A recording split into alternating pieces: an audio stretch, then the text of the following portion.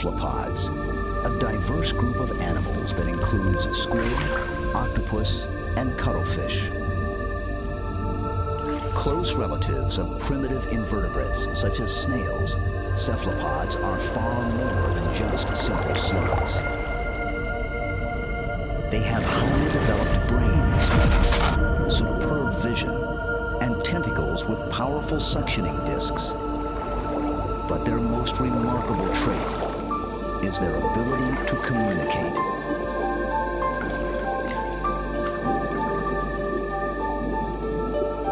With complex visual signals and posturing, some cephalopods appear to speak to each other.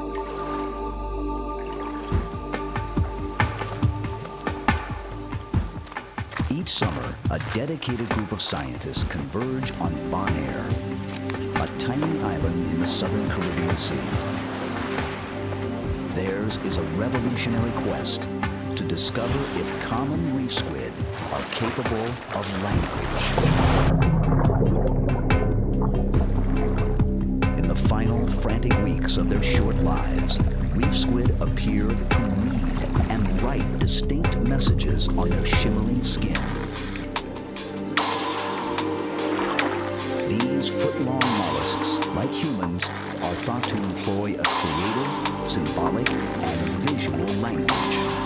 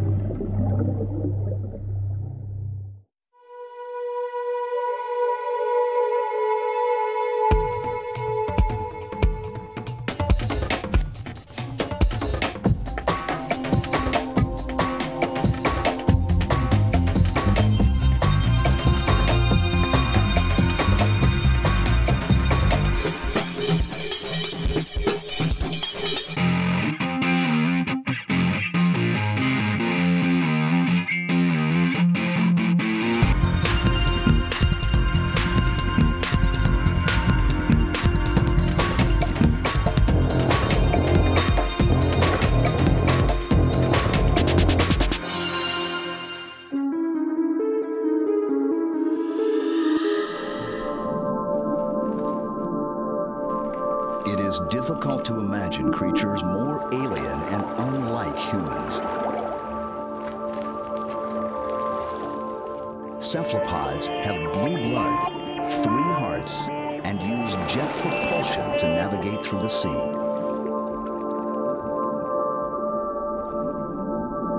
Theirs is the most advanced nervous system of any invertebrate. Wily magicians of the deep, the octopuses, cuttlefish, and squid.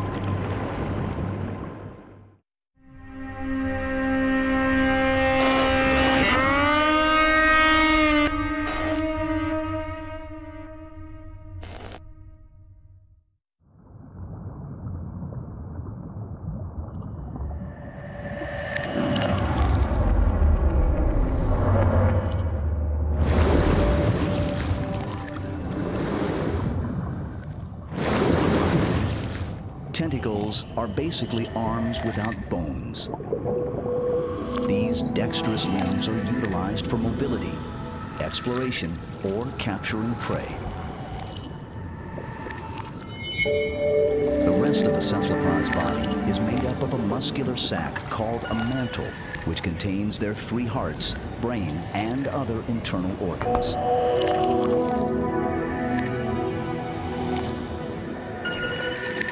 Cephalopod in Latin literally means head-footed. Octopus, squid, and cuttlefish belong to the phylum Mollusca, a group of soft-bodied animals that includes clams and snails. Unlike many of their simpler relatives, cephalopods have lost their external shells through the millennia of evolution.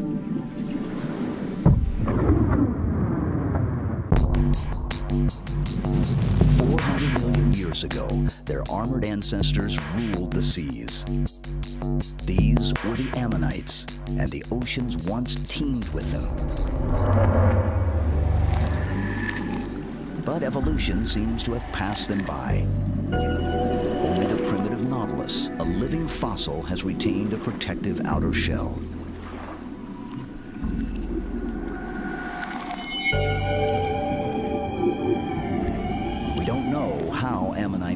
Extinct or why most cephalopods evolved without protective shells. What we do know is that these animals can exhibit an astonishing repertoire of behaviors. They appear to be smart. The evolutionary answer to why octopuses and squid are more intelligent than other invertebrates is probably because while they are derived from mollusks, they have evolved away from using the molluscan shell. A good, big, solid shell is a great place to hide in. And if you're hiding all the time, you don't have to think. As soon as you get out from the shell, you are what some people have described as bait anything can get you, anything is interested in getting you, and you don't have any built in protection. Probably not the only way, but an excellent way to get around the problem of not having any protection anymore is to have smarts. The background of these guys is pretty simple. Squid are cephalopods. That means they're mollusks but they're really unusual mollusks. They don't. Dr. Like Jennifer Mather is a professor of psychology at the University of Lethbridge in Alberta. It's a very short lifespan. So they go from this big hatched to this big doing mating games in less than a year and a half. The crystalline waters of the Dutch Antilles are a long way from the prairies of western Canada. Up to the surface. Caribbean reef squid are perplexing subjects considering Mather's primary field of study is human psychology.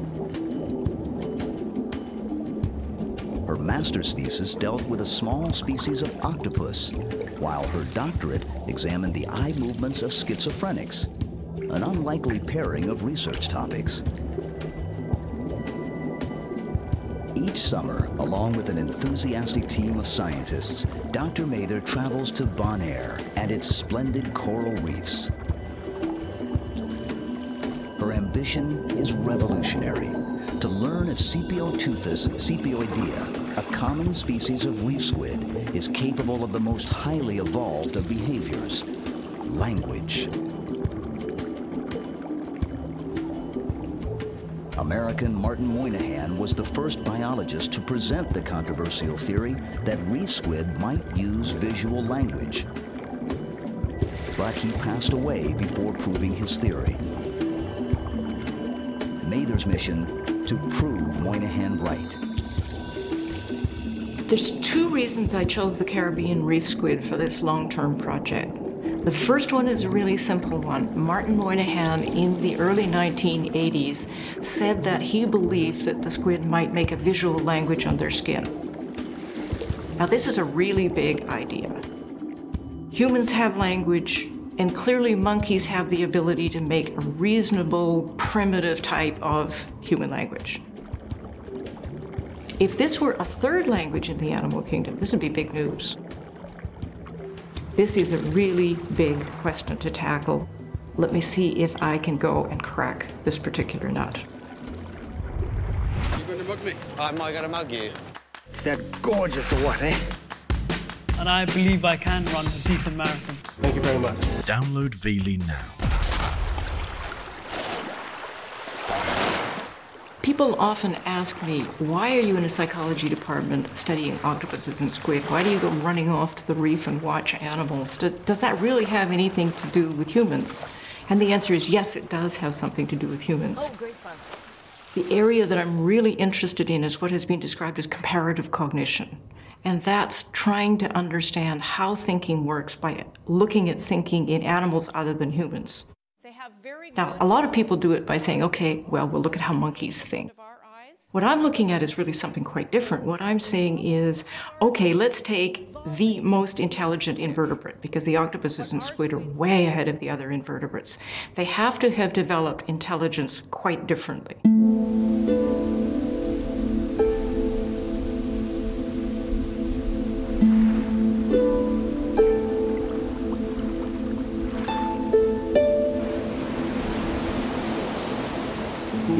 Azure waters of the southern Caribbean Sea lies a tiny island renowned as an environmental success story, Bonaire.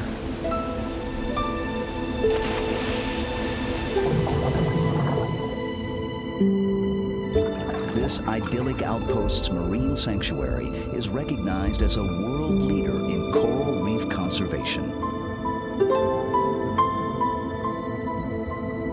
Entire undersea ecosystem surrounding the island is protected as a national park of the Netherlands Antilles.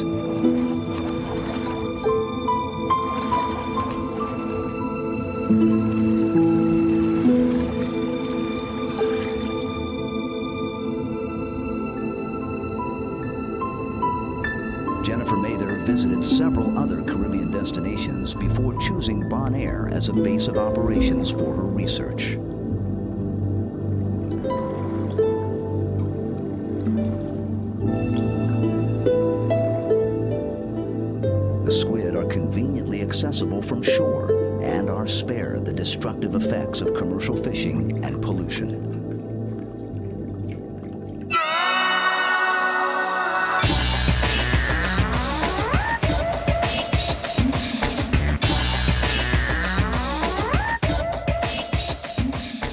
When you decide you want to work with an animal in the field, you have to solve a lot of practical problems before you can go work with them.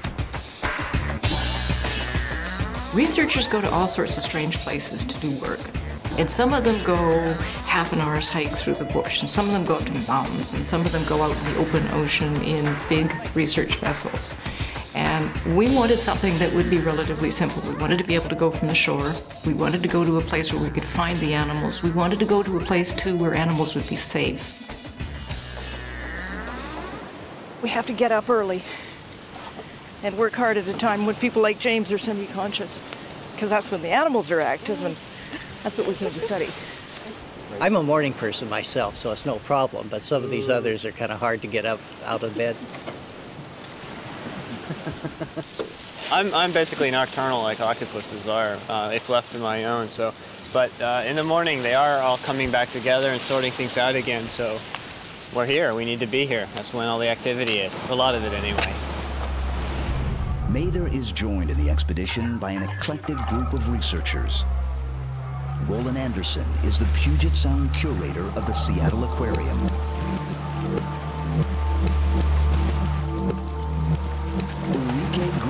Is a cognitive and evolutionary researcher from the University of Vienna. She is accompanied by graduate student Ruth Ann Byrne. I saw a spermatophore. The final member of the team is James Wood of the National Resource Center for Cephalopods in Galveston, Texas. I'm very fascinated with cephalopods. Well, first of all, they're invertebrates, so they're related to things that don't have brains, and some of them don't even have heads. Yet, they're a group that behaviorally is more similar to so- something like a fish than to a snail. They can change color, shape, and texture better than anything else on the planet. I mean, you might think of a chameleon, but chameleons use hormones, and that has to go through the blood system, and then uh, it takes a few seconds. These animals, this is all neurally controlled, so they think it, and they're that. So they can change what they look like many times in one second.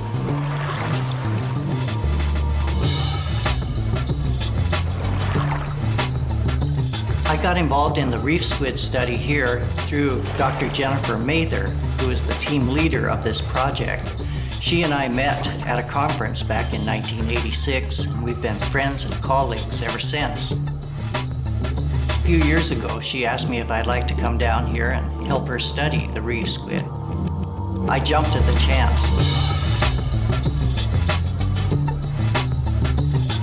I'm seeing new stuff every year. I'm coming here now for the fourth year, and I always see new patterns, new combinations of patterns, new behaviors. I think that they need this complex signal language because they are social. As soon as animals are social and live in groups, they need to communicate. This is also the driving force for intelligence, also in mammals. The most intelligent mammals are found among the social mammals. And the same is happening here in the cephalopods.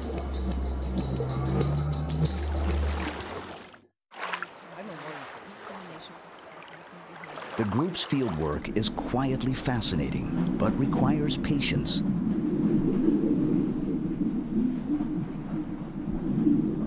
Their research demands hours of snorkeling in unobtrusive observation.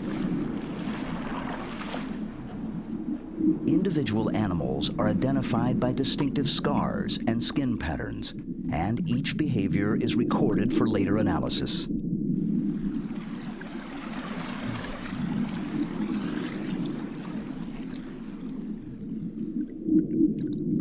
Caribbean reef squid are not the species favored by chefs and seafood fans.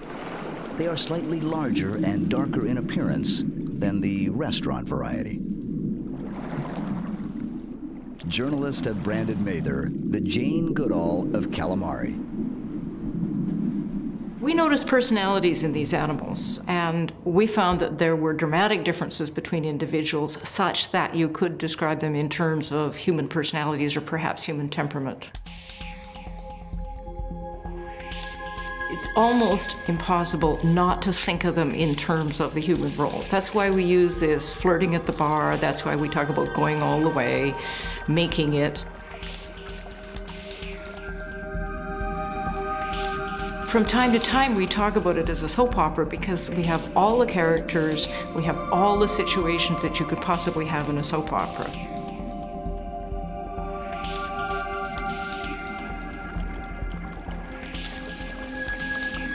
The squid practice a daily routine as timeless as the coral reefs themselves.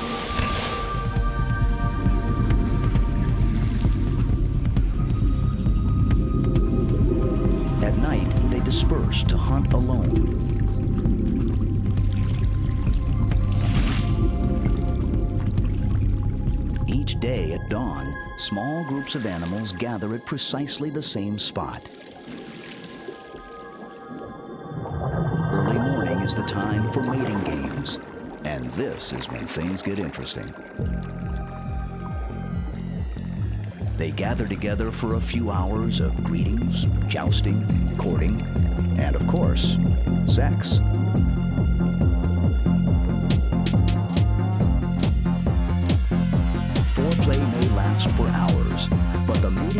Itself is, suffice to say, quick.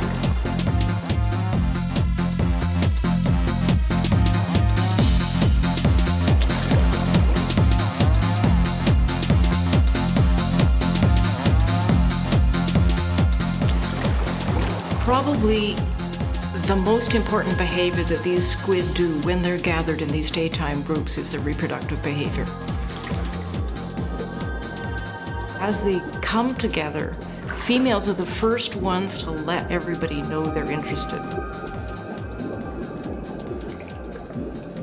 What we notice is that the females rise above the group. They go pale on all of their mantle except just a strip around the front margin, which is kind of a warm brown. When we saw that one, we decided to call it saddle because it looked as if the brown was a saddle around the animal, almost like it was waiting for a rider.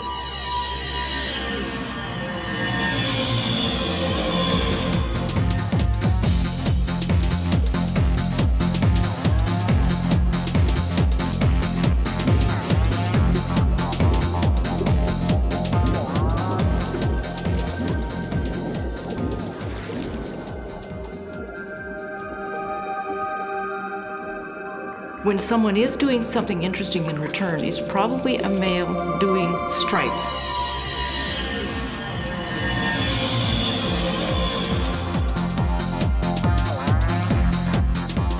That seems to be the first exchange of visual signals indicating interest in mating in the future.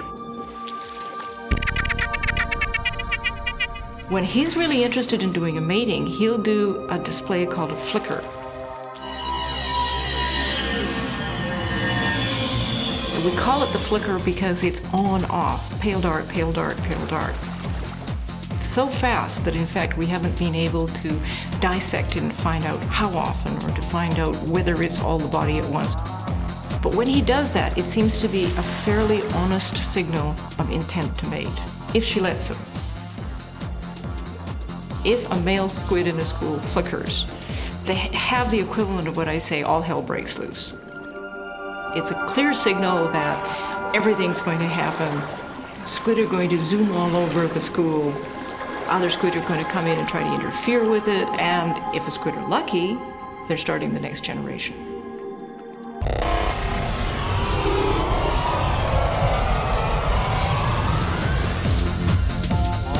The other thing that happens when a male flickers is that it alerts other males to the fact there's an interesting situation coming in here.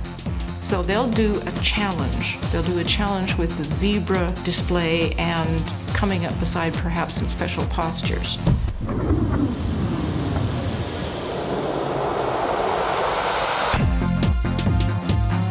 Often, in order to do anything about having the opportunity to mate, he has to fight off the interfering other males.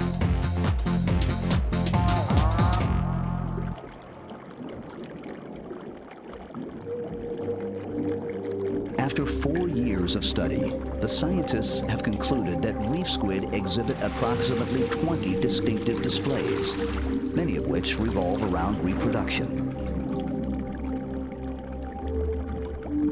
Each of these displays may involve hundreds of individual components, and there are perhaps thousands of subtle variations.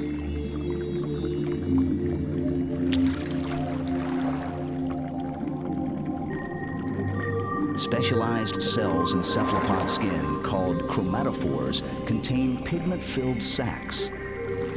Additional layers of cells, iridophores and leucophores, differentially reflect and alter the appearance of incoming light.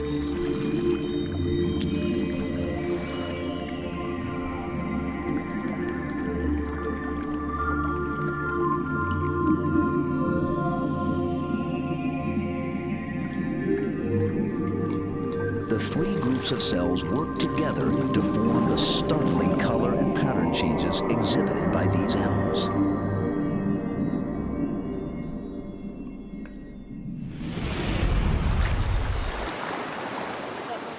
Next week, I think we're going to have to do an all-day watch on one group and sort of start at dawn and have relays of people coming in, watch for an hour, get out, watch for an hour, get out. Do you think that uh, she didn't want him to mate her? I mean, She you think that's why she was doing the zebra? Well, she gets, yeah, she did the zebra right at him, so, and she kept the distance too. I mean, she wasn't with him. She was two or three feet. Once back at their research headquarters, the team analyzes each morning's observations. I, ca- I counted 17 today. Individual files cover a wide range of behaviors, including flickers, saddles, and zebra displays.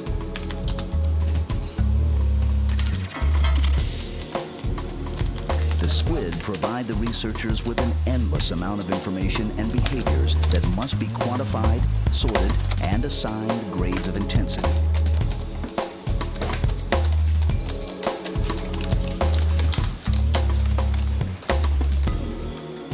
Anytime you see that green or blue, the pinkish color too, Yeah. that's a iridophores. Yeah, it's, it's a really neat system. It's not studied. The various displays can be uh, sort of quantified and sort of assigned numbers depending on the intensity, whether it was on a quarter of the animal or half the animal or all the animal.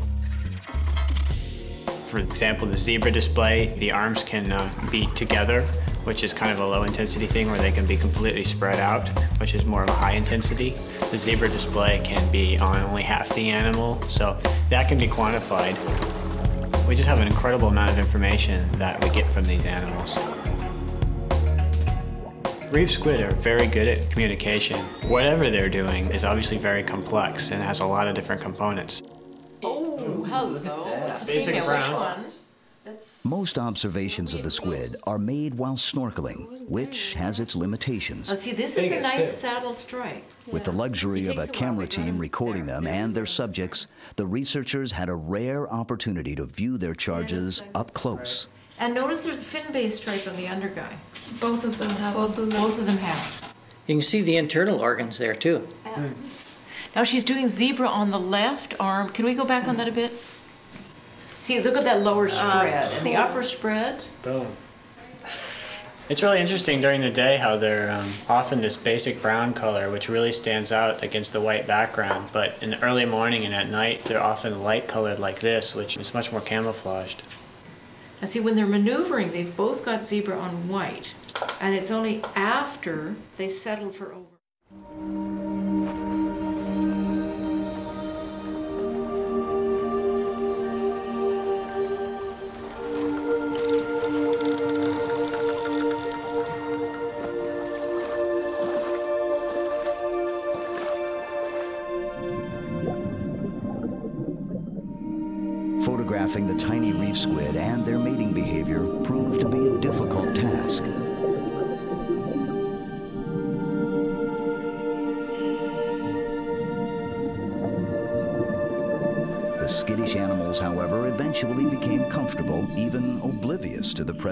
Divers. Cinematographer Neil McDaniel captured images of behaviors of which little is known.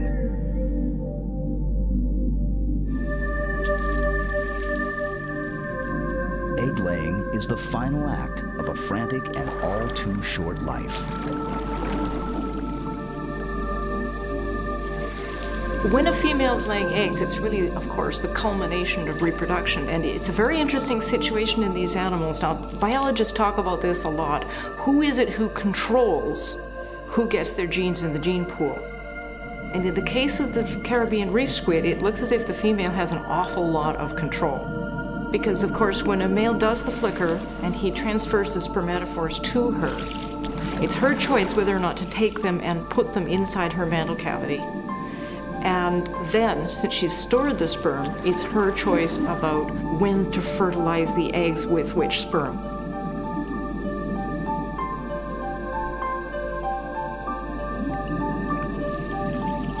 Both males and females will die after reproduction. And it's a very short lifespan. We talk about them as having a motto of live fast, die young.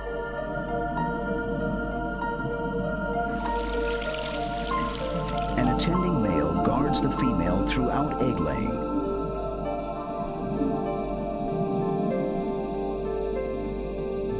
He tries to mate with her right before and even during the process to give his seed an advantage over that of his rivals.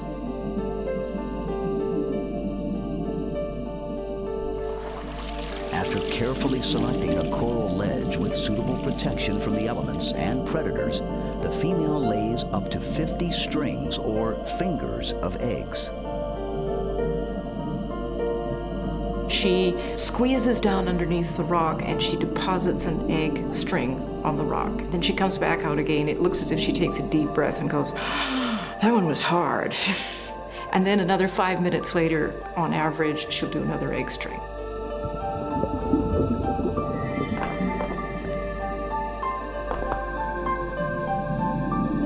Start out life as eggs. There's no parental care whatsoever, and the male contributes nothing except sperm.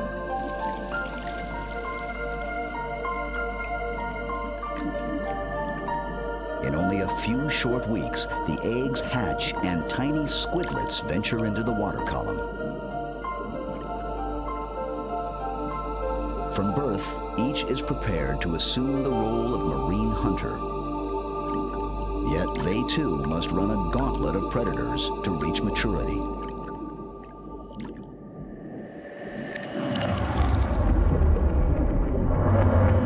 In the cold waters of British Columbia, the world's largest octopus appears to have little need for the complex visual signaling used by reef squid.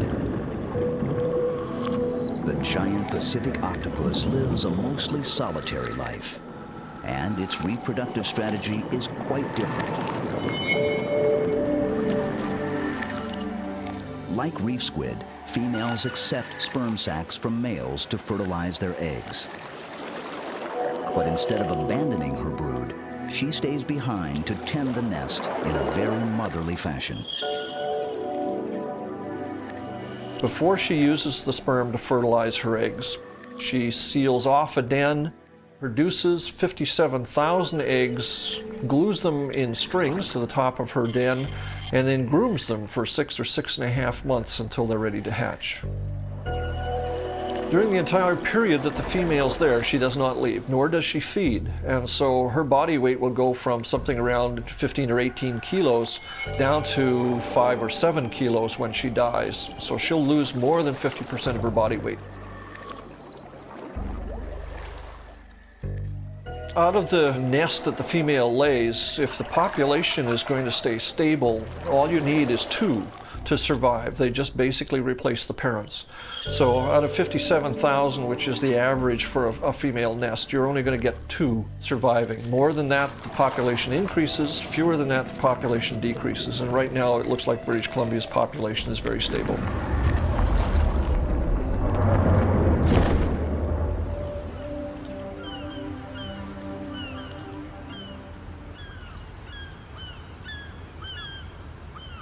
James Cosgrove of the Royal British Columbia Museum has spent many years studying the reproductive behavior of these intriguing animals.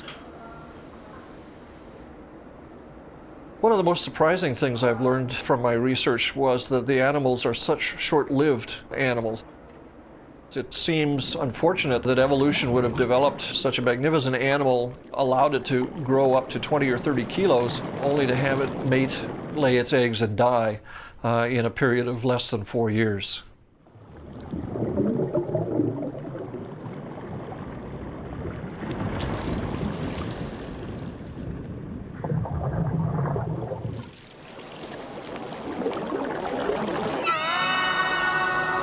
On the Gulf Coast of Texas, the research vessel Marine Hall departs from Galveston Bay.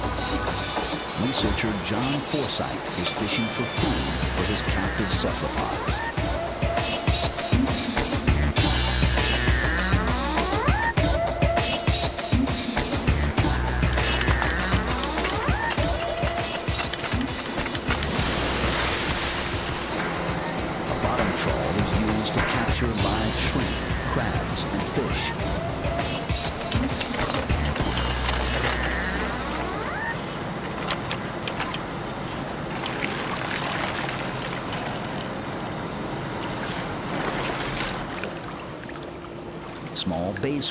Also taken as a bycatch. They are transferred to a holding tank for the trip back to shore.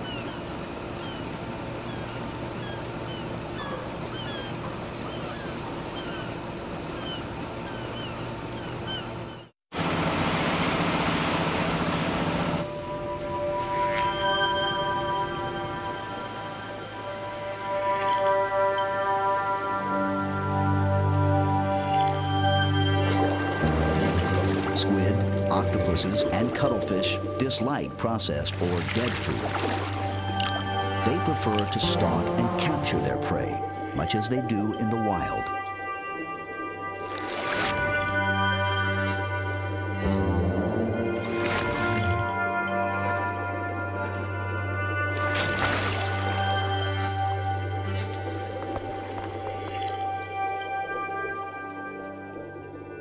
Most cephalopods do very well in captivity, and these European cuttlefish exhibit many visual signals similar to those of Caribbean reef squid.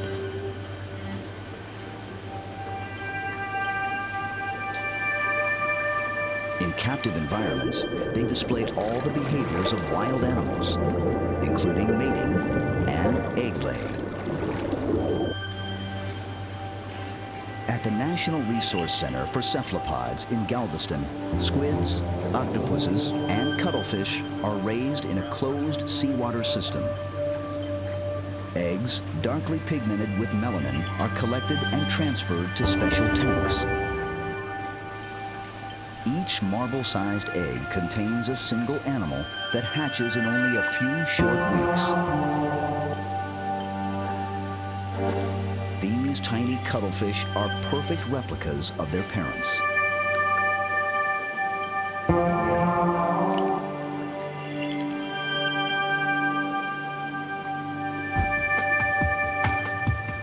The cephalopods are primarily utilized as marine lab rats and shipped to researchers across North America. Like their rodent counterparts, these cuttlefish provide scientists with valuable insights into human physiology.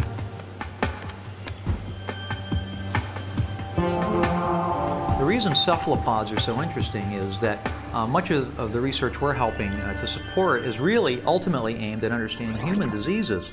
But scientists find that going to a human or even a vertebrate is very difficult because the systems are so small and so sophisticated, it's a hard place to begin. So you move down the animal kingdom until you can find a sufficiently sophisticated system that you can begin to understand and ask good questions. And cephalopods, we find, are an interesting place to stop because they have very large elements of their physiology, be it the nervous system or the circulatory system or their brain or their eyes.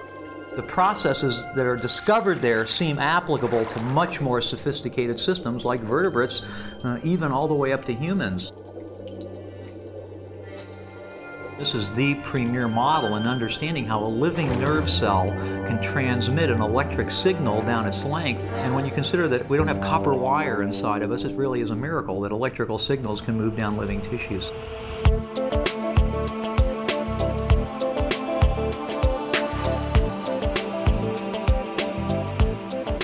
Back from his fieldwork in Bonaire, Dr. James Wood updates the website that he developed to share cephalopod research.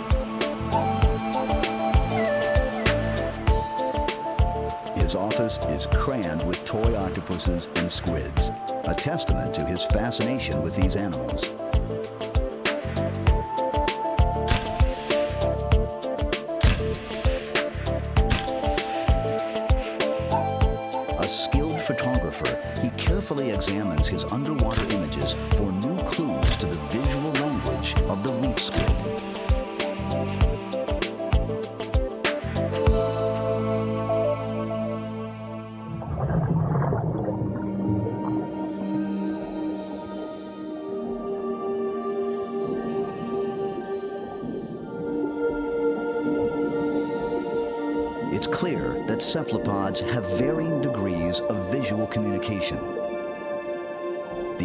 Intensely social reef squid are the most expressive, while more solitary animals such as octopus seem to have less need for communication.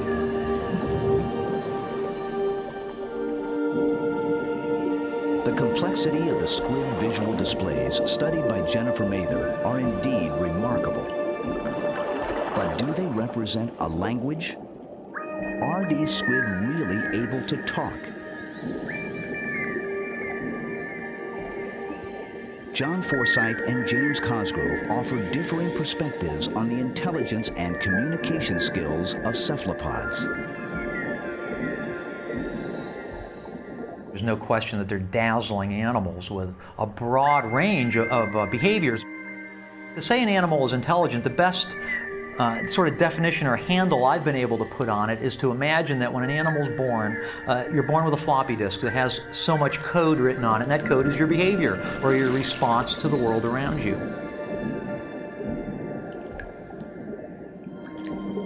I think the question of intelligence will be answered in cephalopods when we can show that the cephalopod can take that floppy disk of behavioral or life options and begin writing new code that wasn't there the day they hatched out. In other words, synthesizing new information into new responses that it didn't possess on the day it hatched. And that, to me, is the beginning of saying, yes, these animals are intelligent.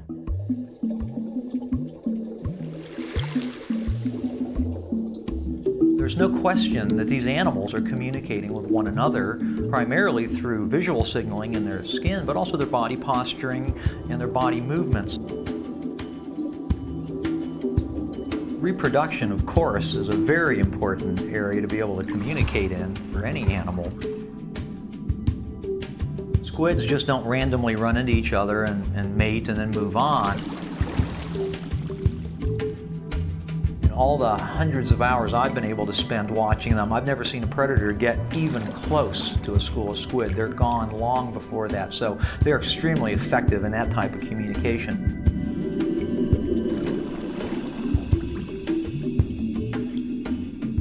Take this to the level of it, is it a language? Is there syntax? Or, or is there sentence structure to the way they communicate? That's very sophisticated and very difficult to get at. I don't think there are many of us ready to just yet say that's the way they structure their communication, but there's no doubt that they do make uh, certain decisions very clearly known to one another.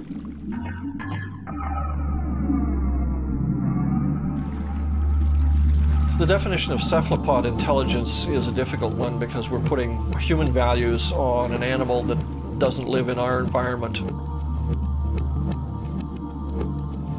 When we look at squids and cuttlefishes, we see a lot of visual communication there, and it's very clear that messages are passed back and forth. There is communication happening in that not only is the squid the sender of the message, it's also a receiver of the message, and that's what communication is.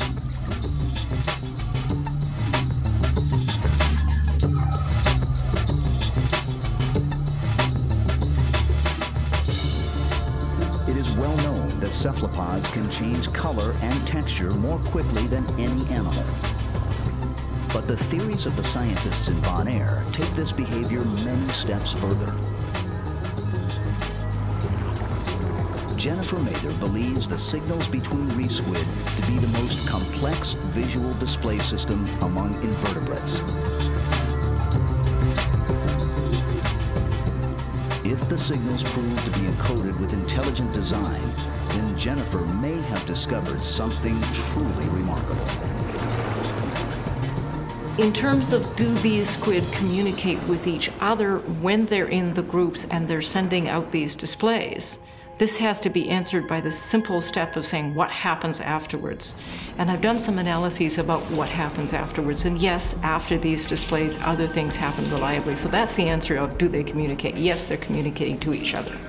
Do I always know just exactly what the shades of meaning are? Mm-mm. Lots to learn about that.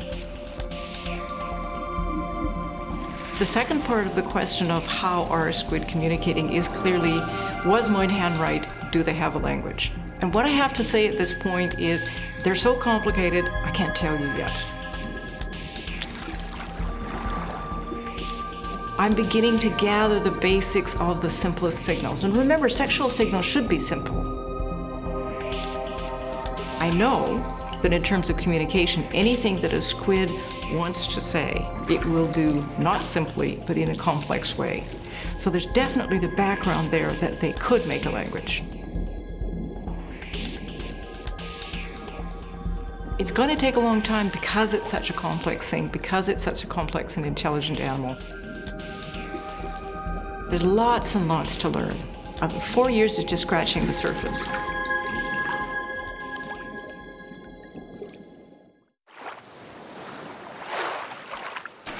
It may be a few more years before Jennifer Mather can ultimately prove that reef squid are capable of language.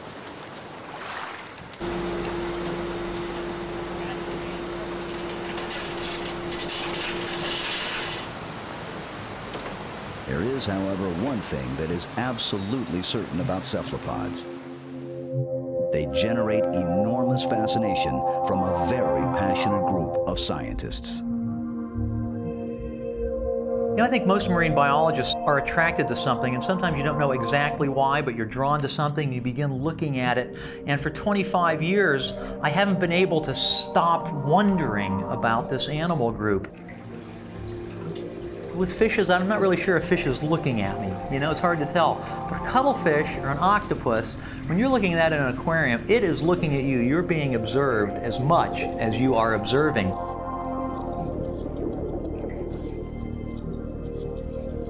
There's just new books, new pages, new stones to be turned over that even I can't even imagine right now. But that's what drives a biologist is knowing that an animal group that you know very well still has those magical uh, mysteries to, to show to you.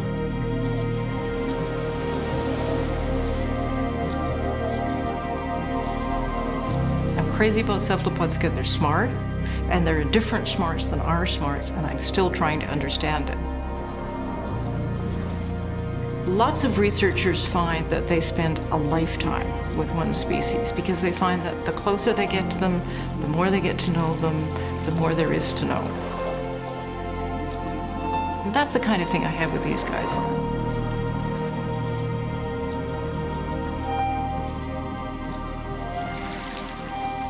I'm also nuts about squid because they're gorgeous to watch. I love watching the flashes. I love watching the color changes. They're beautiful animals. We don't just do it because it's absorbing and it's fascinating. We also do it because it's great fun.